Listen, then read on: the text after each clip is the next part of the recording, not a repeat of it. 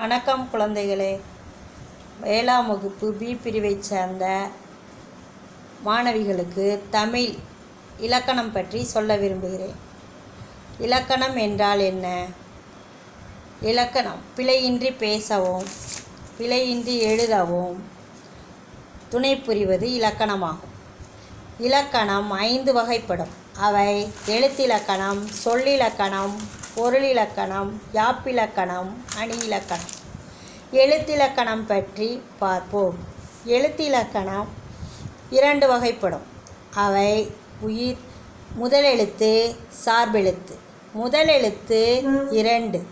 உயிரெழுத்து பன்னெண்டும் மெய்யெழுத்து பதினெட்டும் சேர்ந்த அமைப்பு முதலெழுத்து எனப்படும். முதலெழுத்துக்கு அ ஆ இ ஈ உ ஊ எ ஏ ஐ ஒ ஓ ஔ.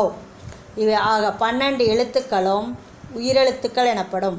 இக்கு இங்கு முதல் இன்னு வரை உள்ள எழுத்துக்கள் பதினெட்டும் மெய்யெழுத்துக்கள் எனப்படும். உயிரெழுத்து பற்றி பாடல் ஒன்று பார்ப்போம். அம்மா இங்கே வா வா. ஆசை முத்தம் தாத்தா.